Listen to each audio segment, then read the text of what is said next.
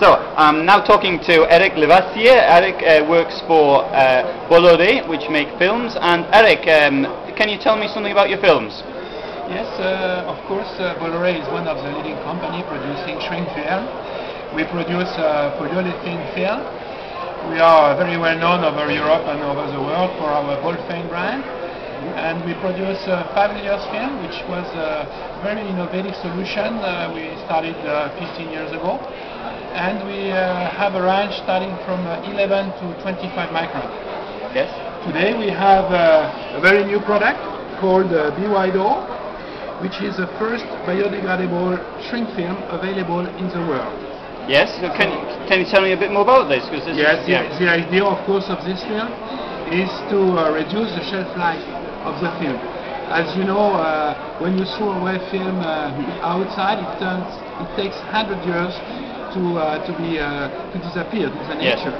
This film contains special uh, agent, which after two to three years turns the film to dust, and those uh, molecules can be swallowed without impact on the nature by the nature. Mhm. So this is a very interesting solution. So is the film, what, what are the original components of the film? Why is it, what, ha- in what way does this film differ from traditional film? Now, traditional films uh, stand for, uh, as I said, a 100 years. Yeah. It's uh, this film have a special additives. It's not coming from uh, renewable sources. Yes. It's uh, pure uh, chemical additives, but these additives help the film to be destroyed and swallowed by the nature after uh, around two to three years. Yes. And uh, can this be dangerous to the food though? Because if you wrap it up with food and then uh, it starts to deco- No, uh, no, no. Uh, of course, uh, the, the film is uh, food contact approved.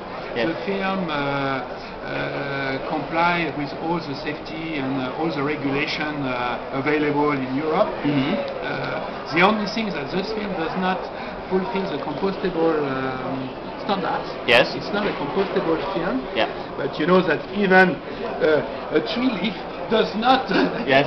does not pass the compostable test. So uh, there Yes. is a lot of controversy around this uh, Yes. this uh, test.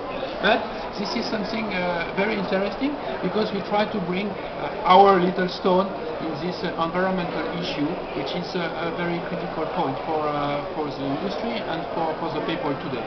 Yes, yes, cer- cer- certainly it's a, um, a major, a major issue uh, at, at present. How are sales going with the biodegradable product? But this is very new. We just uh, started the promotion today. Just Oh, right, right, Our so- first day. Okay. So we will see, of course, the response uh, of our customer and the uh, the people here. But uh, apparently, there is a very high interest for, for, for this product today.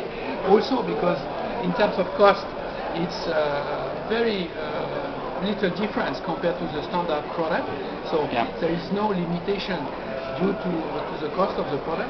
If you Yeah. compare to other solutions uh, where the raw material are very, very expensive, a lot of people still keep away because it's too expensive. This is not the case with this solution. And uh, the film perform exactly like the standard films in terms of uh, machinability, of speed, and packa- packaging result. At the end of the day, you need to pack and shrink wrap properly your product in the proper condition. So this is what you can do with this product. This is very interesting. Okay, very good. Okay, thank you very much.